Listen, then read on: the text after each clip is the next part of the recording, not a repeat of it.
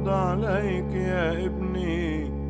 ظهر انقطع والهم دوبني خود ليلى بنت ضيعتنا بترتاح معها ولا بتتعبني يا ابني.